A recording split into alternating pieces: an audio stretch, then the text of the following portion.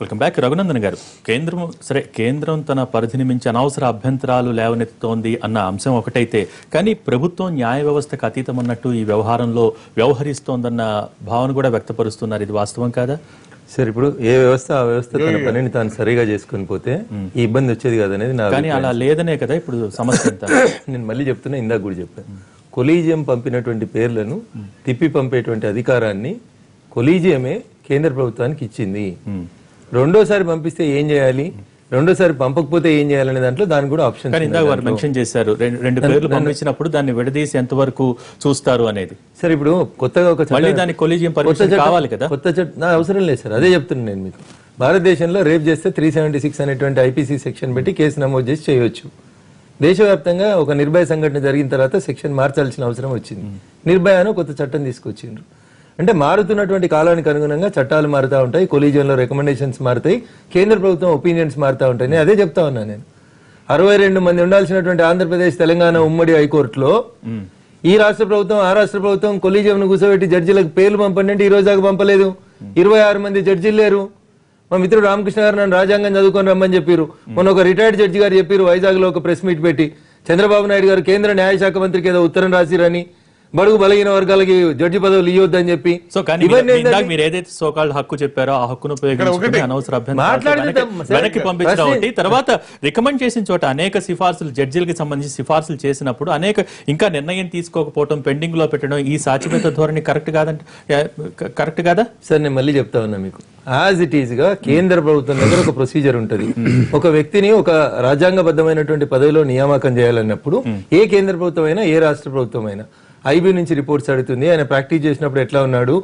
High court judge అయిన తర్వాత ఎట్లా ఉన్నాడు? మంచేంది? చెడ్డలేంది అనేది. ఐబీ రిపోర్ట్ అడుగుతారు. దానికి కొన్నిసార్లు ఏడు నెలలు తీసుకున్నారు. గోయల్ అనేటువంటి ఒక జడ్జి గారు ఐబీ రిపోర్ట్ ఇవ్వడానికి నాటి ప్రభుత్వము ఏడు నెలలు పెండింగ్ పెట్టింది.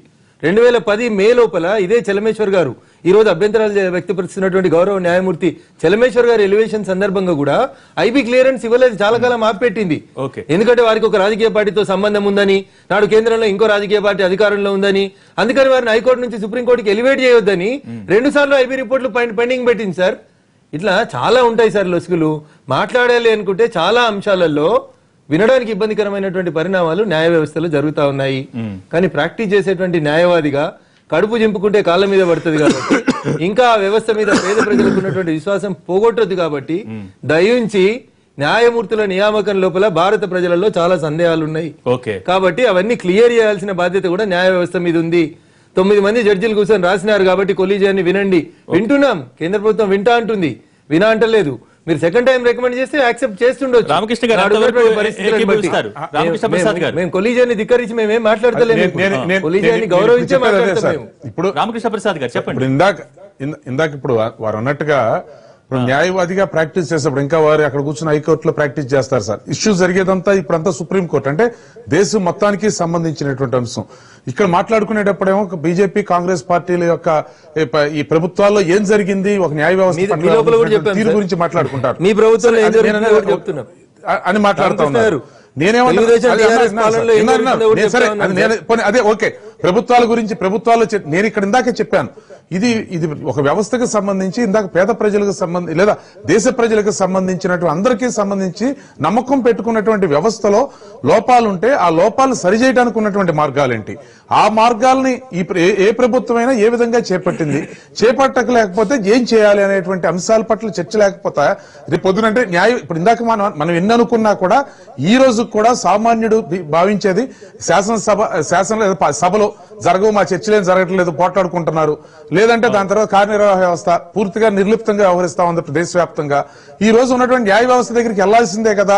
అక్కడ కాదు న్యాయ వ్యవస్థలో తొందరగా తీర్పులు వస్తే బాగుండు తొందరగా త్వరితగతిన జరిగితే బాగుండు అనేటువంటి దశలో ఉన్నప్పుడు అక్కడ వచ్చి అక్కడ అక్కడ నిర్ణయాలు కూడా రాజకీయ ప్రభావితంగా జరుగుతున్నాయి అనే నియామకాలే రాజకీయ ప్రభావితం. మళ్ళీ దాని తర్వాత వచ్చేటువంటి నిర్ణయాలు కూడా రాజకీయ ప్రభావితం అనేటువంటి అంశాలు. ప్రజల్లోకి పూర్తిగా ప్రభుత్వం వచ్చిన తర్వాత ఏం చట్టాలు మార్చలేదు. తప్పుగా చెప్పొద్దు మీరు. కొలీజియం నేను- నరేంద్ర మోడీ చట్టాలు నరేంద్ర గారు. దయచేసి. ఇక్కడ అనేది ఏంటంటే రాజకీయ రాజకీయ నేను అక్కడ మీరు చట్టాలను మార్చారు లేదనేది అంటలేదు. సామాన్య ప్రజల్లోకి ఏమి వెళ్తుంది అనేటువంటి అంశం పట్లే మాట్లాడుతూ ఉన్నాను.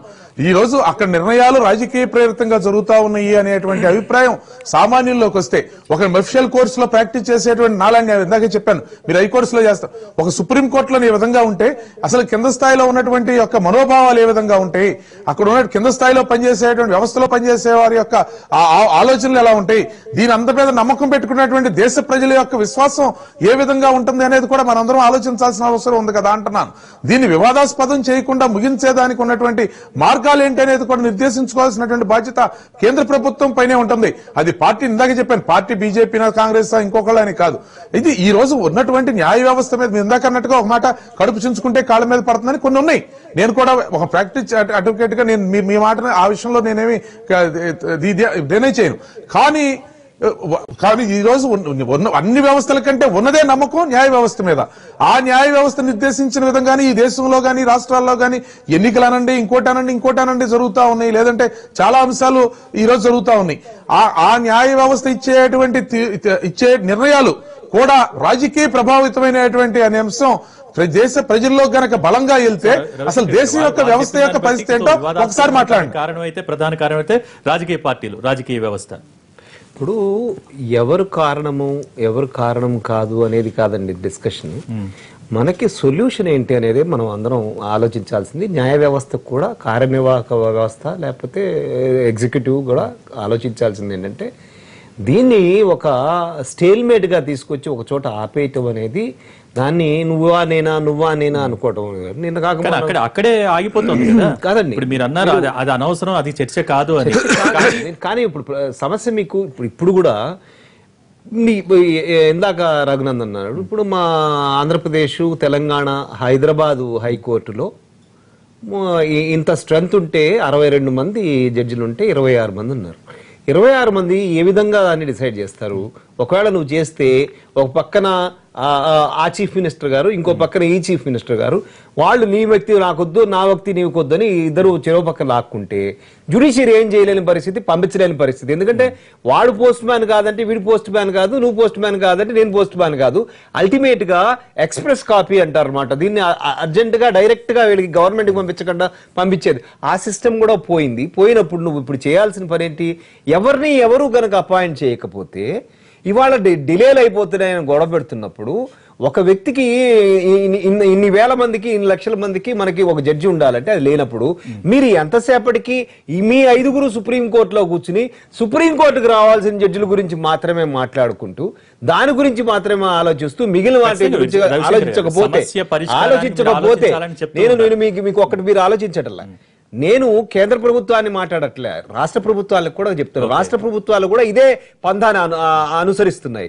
ఈ రకంగా నువ్వు పంధాలను అనుసరించి నాలుగు వందల పోస్టులు భారతదేశంలో ఖాళీగా కనుక ఉంచి జడ్జిల పోస్టులు ఫిలప్ చేయకుండా వాళ్ళు వీళ్ళు ఇది అడ్డంగా కూర్చుని ఎవరు నువ్వు చెప్పేది నేను వినను నేను చెప్పేది నేను నువ్వేనని అనుకున్నట్టయితే అసలు జుడిషియరీ మీద నమ్మకం పోయే పరిస్థితికి వాళ్ళ ప్రజల్లోకి వస్తుంది ఎందుకంటే లోపలికి వెళ్తే మా కేసు నేను కా- కోర్టుకి వాడు కాటికి వెళ్ళిన వాడు ఒకటే సామెత చెప్పుకున్నట్టు కనుక రకంగా చేసుకుంటే అల్టిమేట్ ఎటువంటి. ప్రమాదకరమైన కానీ- ఇక్కడ ఒక్క విషయం ఆలోచించి మీరు అన్నారు ఇందాక సమస్య పరిష్కారానికి ఆలోచించాల్సిన తరుణం ఎవరు కారణం కాదనేది. కానీ జనవరి పదహారున అక్కడ సర్వోన్నత న్యాయస్థానానికి సంబంధించి న్యాయమూర్తులు ఎప్పుడైతే ప్రెస్ మీట్ పెట్టారో ఆ రోజు కోట్ చేసిన అంశాలు సర్వోన్నత న్యాయస్థానం విపత్కర పరిస్థితుల్లో మనుగడ సాగిస్తోంది. సమిష్టి బాధ్యత. జనవరి నుంచి మే దాకా ఎంతవరకు పరిస్థితుల్లో మార్పు వచ్చింది? ఆలోచించాల్సిన అవసరం ఉంది కదా? మీరు పరిస్థితుల్లో మార్పు రాలేదు. ఇందాక మన నా సోదరుడు చెప్పాడు ఖన్నా గారిని nineteen seventy seven seventy nine వ్యవహారంలో వచ్చినప్పుడు నలుగురు జడ్జిలు రిజైన్ చేశారు. ఇవాళ పరిస్థితులు మారిపోయినాయి. ప్రజలకి ఇక్కడ జరుగుతున్న కార్యక్రమాన్ని తెలియజేయడానికి మేము బయటకు వచ్చామని చెప్పి జడ్జిలు బయటకు వచ్చి ఇవాళ ఇలా జరుగుతోంది ఇది ప్రమాదకరమైన అంచులో ఉంది సుప్రీంకోర్టు కానీ న్యాయ వ్యవస్థ కానీ అని తెలియజేయడానికి ఆ రోజున వారు పిరికి వారై రిజైన్ చేసి వెళ్ళిపోయారు. ఈ రోజున అట్లా కాదు. మేము బాగు చేయడానికి ఇది కారణాలు చెప్పడానికి మేము వచ్చాం. కారణాలు మీ అందరి ముందు ఉంచుతున్నాం. దానికి సొల్యూషన్ మీరు అందరూ వెతకండి. ప్రభుత్వం కూడా వెతకాలి. జుడిషియరీ కూడా. రవిశంకర్ జంధ్యాల గారికి మై క్వశ్చన్ ఈ స్ట్రైట్ వీళ్ళు సుప్రీం కోర్టులో గత ఐదు సంవత్సరాల నుంచి జడ్జిలుగా పనిచేస్తారు ప్రెస్ మీట్ పెట్టిన పెద్దలు. ఇందాక రవిశంకర్ జంజాల గారు అడిగినటువంటి నాలుగు వందల మంది దేశవ్యాప్తంగా జడ్జీలు ఖాళీలు ఉంటే ఈ ఐదుగురికి అందులో బాధ్యత లేదా? ఎందుకు ఆ రోజు ఎందుకు బాధ్యత వహించారు? రిటైర్ అవుతున్నారు వాళ్ళంతా నెల రోజులు రెండు నెలల్లో రిటైర్డ్ అయిపోతున్నారు. రిటైర్డ్ అయిపోయే ముందు మీరు వ్యవస్థ మీద బురద జల్లి పోవాలనుకుంటే అది మీకు శోభనివ్వదు అది వాట్ యూ డన్ అనేది నీ గుండె మీద చేసుకొని చెప్పు. నువ్వు ఎన్నడూ సుప్రీంకోర్టు జడ్జి అయినవు. నువ్వు అయిన నాటి నుంచి ఎంతమంది హైకోర్టు జడ్జిల నియామకం కోసం రాష్ట్ర కేంద్ర ప్రభుత్వాల మీద ఒత్తిడి తెచ్చినావు. వ్యవస్థని మెరుగ్గా పనిచేయించడానికి ఏం పని చేసినావు అంటే- ఇది ఏది చెయ్యకుండా నేను రేపు రిటైర్ అయిపోతున్నాను కాబట్టి. ఈ రోజు నేను వ్యవస్థని చేయాలి.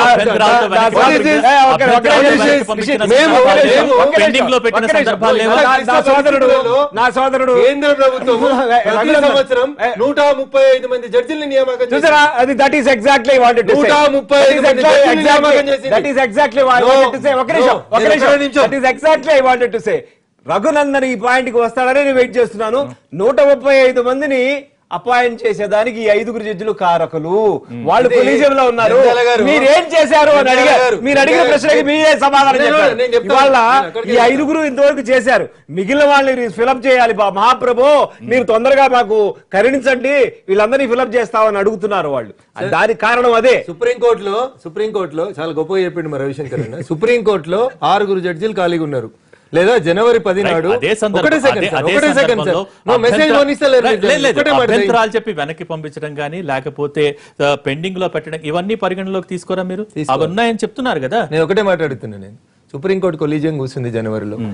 ఎనిమిది ఖాళీలు ఉన్నాయి సార్ సుప్రీంకోర్టు జడ్జీలు. సార్ ఎనిమిది సార్ ఎనిమిది ఖాళీలు ఉంటే రెండే పేర్లు ఎందుకు పంపాలి sir what is the vested interest you have మీరంతా సీనియర్లే కదా ఐదుగురు సీనియర్ జడ్జిలే కదా. ఎనిమిది పేర్లు పంపడంలో మీకు ఇబ్బంది ఏంది? యాభై నాలుగో పేరులో ఉన్నటువంటి కేఎం జోసెఫ్ గారి దాకా మీరు అనలైజ్ చేయగలిగినరు. అంటే మిగతా ఏ రాష్ట్రంలో ఉన్న ఏ హైకోర్టు చీఫ్ జస్టిస్ కూడా సుప్రీంకోర్టు ఎలివేట్ అవ్వడానికి ఆడ అర్హులు వాళ్ళు లేరా సార్? ఇదేనా కొలీజియం చేసేది? ఇది నేను అడిగితే మోర్ తప్పు అడుగుతున్నాను తిరగబడుతున్నారు. అడ్డంగా మాట్లాడుతున్నారు. అడుగుతారు మీరు. అన్యాయం అంటున్నా నేను. జనవరి పదికి చెప్తున్నా మీరు నేను. ఇచ్చిందేమో వాళ్ళు కలేజియం రికమెండ్ చేసిందేమో మీరు తిరిగి పంపించేస్తున్నారు. అవును. మీరు పనికిరాదనేది యాక్చువల్గా మీరు జోసఫ్ని అంటే ఒక అంటే ఆరోపణ తిరిగి పంపించేస్తున్నారని మీరు చెప్తూ ఉన్నారు వారంటున్నారు. ఇన్ని ఖాళీలు ఉంటే కేవలం రెండు పేర్లు ఎందుకు సిఫార్సు చేశారు? ఇంకెవరు లేరా అనేది. సుప్రీంకోర్టు చెప్పింది